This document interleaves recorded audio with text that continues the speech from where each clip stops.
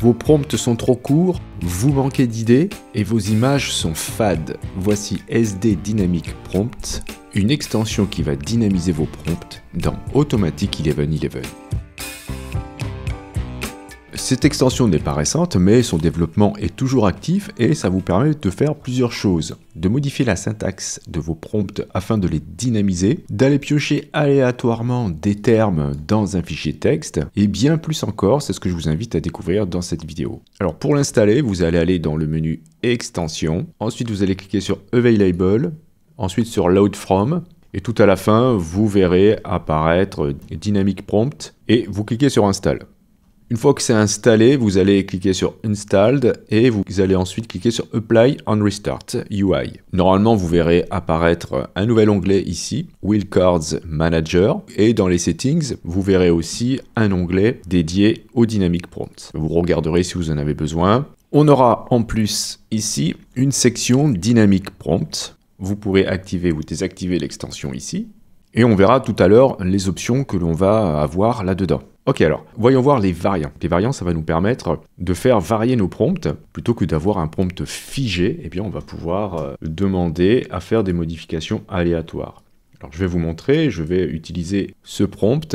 Donc ici, j'ai mis entre des accolades mes sujets. Donc comme sujet, j'ai un lapin, un chien, un éléphant, un chat. Et à chaque fois, c'est séparé par euh, des verticales. Donc les verticales, vous regardez dans votre clavier laquelle touche c'est. Moi, sur mon clavier, c'est le 6. Donc si je fais Alt GR6, euh, je fais ce symbole. Ok? Ensuite, j'ai mis à côté le lieu, pareil, avec le même principe, entre des accolades et séparé par euh, des lignes verticales. Et ce que ça va me faire, ça va me faire varier mon prompt de manière aléatoire. Donc ça pourra faire un lapin à la plage, par exemple, comme ça pourrait me faire un éléphant dans la forêt. Ok? Donc voilà, c'est ça les variants. Donc on peut tester. Je vais cliquer sur Generate donc voici un éléphant dans la forêt. Et là, d'autres générations d'images avec, ben, comme vous pouvez le constater, un lapin à la plage, un lapin dans la forêt, un chat dans la forêt et un autre chat dans la forêt. Donc voilà, c'est vraiment aléatoire. On va pouvoir aussi déterminer le poids de nos termes ici.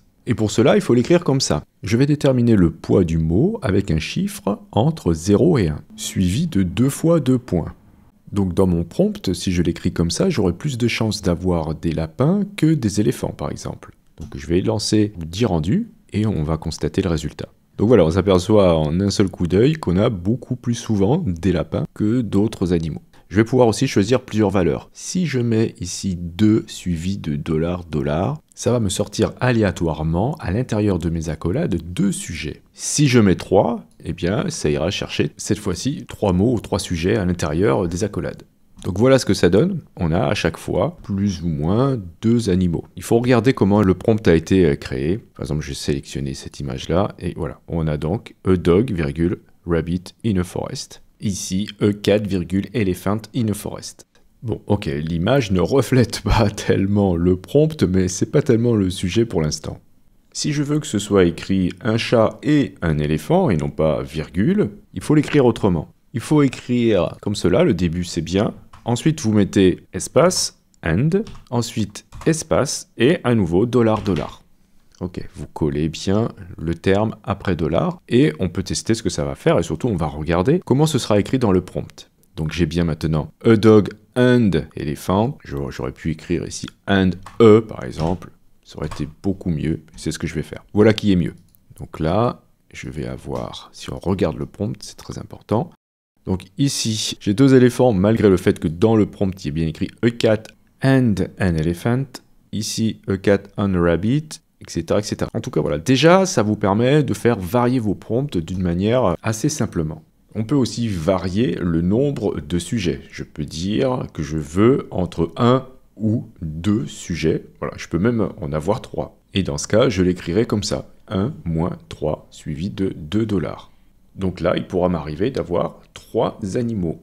Donc voilà, je pourrais avoir un éléphant et un chat dans la forêt, comme je pourrais avoir un chat et un chien et un éléphant dans la forêt. Pourra même m'arriver d'avoir un seul sujet, un lapin dans la forêt. Voilà, parce que j'ai indiqué ici que je pouvais choisir entre un à trois sujets. Alors maintenant, on va voir ce que sont les wildcards. Ça, ça va nous permettre de gagner du temps, parce que si à chaque fois on doit écrire tous nos sujets ou tous nos environnements ou peu importe, à chaque fois dans le prompt, ça risque de devenir un petit peu compliqué. Donc là, je pourrais mettre tous mes sujets dans un fichier texte, et pour cela, je vais avoir besoin d'un éditeur de texte, et je pourrais euh, taper mes sujets ici. Je pourrais aussi indiquer au-dessus ce que c'est avec un dièse, je pourrais dire euh, animaux. Et ça, je vais le, donc, je vais le sauvegarder. Je vais l'enregistrer sous. Dans mon dossier extension, vous allez trouver dynamic prompt. Et vous allez ensuite trouver le dossier wildcards. Pour lui donner un nom que vous allez pouvoir retrouver, c'est très important car c'est ce nom-là que vous allez saisir dans le prompt. Je l'enregistre en tant que animaux.txt. Ok, et maintenant, je vais saisir mon prompt de cette manière-là. Donc je vais enlever tout ça. Donc je vais écrire E et je vais mettre deux tirés du bas ou deux underscore. Ok, et vous mettez le nom du fichier que vous venez de créer. Donc moi ici c'était animaux. Donc là, ça va aller chercher de manière aléatoire un animal dans la liste du fichier animaux.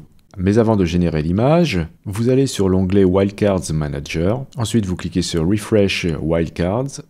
Et j'ai maintenant animaux. Je clique dessus et je vois ici ce que contient ce fichier.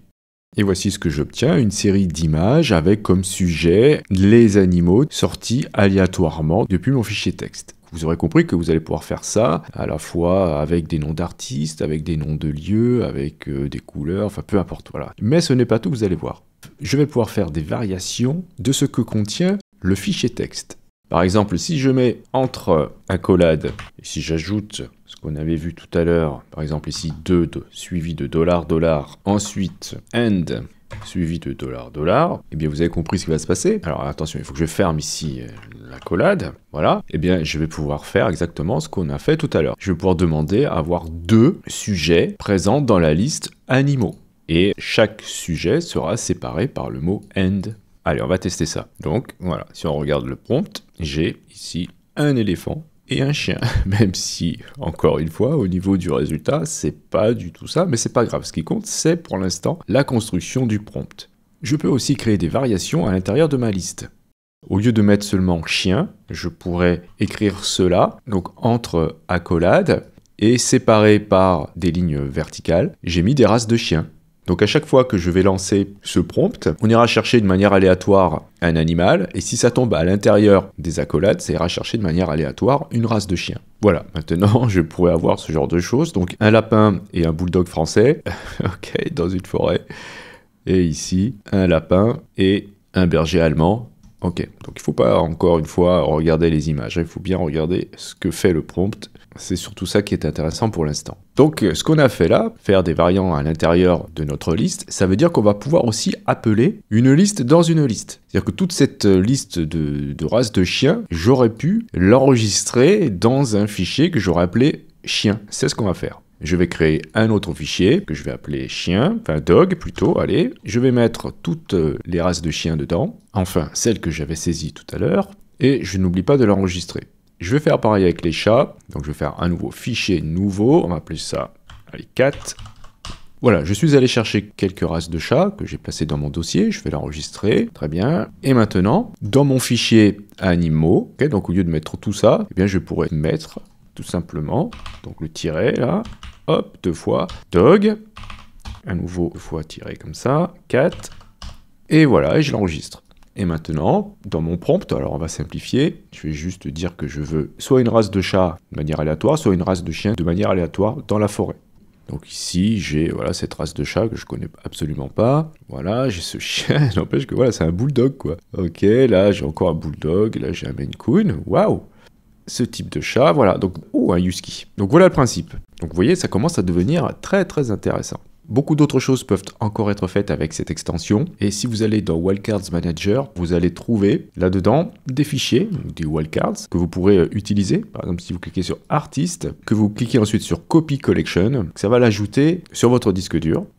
et donc là, vous allez voir que si vous cliquez sur Artist, vous allez avoir un nombre incroyable de dossiers et de fichiers que vous pourrez utiliser dans vos prompts. Donc vous voyez que là, on a fait comme tout à l'heure ici, on a indiqué que si vous tapez ça dans votre prompt, ça va aller chercher les peintres baroques italiens.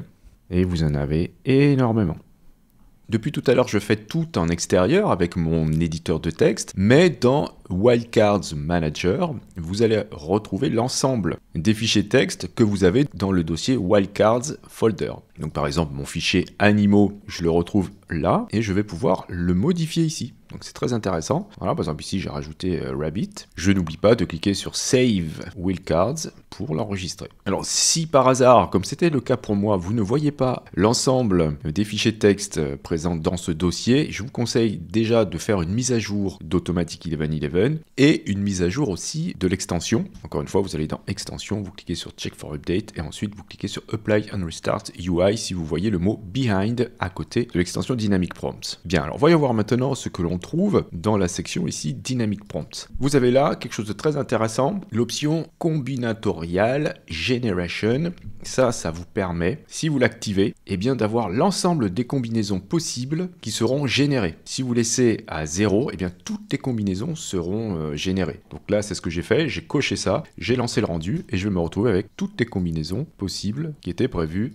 dans le fichier texte. Alors, les autres options, vous regarderez, vous aurez la possibilité donc de dire non, je ne veux pas tout, parce que en fonction évidemment de ce que vous allez avoir dans le fichier texte, il se peut que vous ayez énormément de combinaisons possibles, surtout si vous avez plusieurs choses dynamiques dans le prompt, ça peut faire beaucoup. Et en dessous, vous avez Prompt Magic. Si vous l'activez, c'est plutôt intéressant. Ça va euh, prendre en compte votre prompt, mais ça va ajouter un petit peu euh, de choses en plus. Donc vous pouvez l'activer, vous pouvez définir la longueur du prompt, donc combien de tokens seront euh, générés dans le prompt. Ça, je sais pas trop ce que ça fait, je vais le laisser par défaut. Et là, vous avez des modèles qui seront euh, pris en compte pour la génération du, prompt magique. Et si vous cliquez là, eh bien, vous allez utiliser Lexica Art pour générer des prompts aléatoires. Je l'ai testé, euh, ça marche pas trop chez moi.